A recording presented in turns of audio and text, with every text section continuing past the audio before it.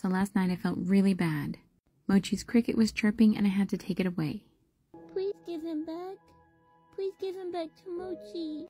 So of course the first thing this morning I went to PetSmart and got another cricket to do surgery on. This is going to be her bedtime cricket. So if I have to take the chirpy ones away from her, I can make sure she has this one and not be sad. I felt bad taking the chirping thing out of the cricket though, so I replaced it with one of Mochi's little macaroni hearts. Yes, I really did sew that inside there. Once everything was good, they were reunited. Get your buddy. Get your buddy. Hello. Mr. Cricket, where have you been? Mochi was looking everywhere for you.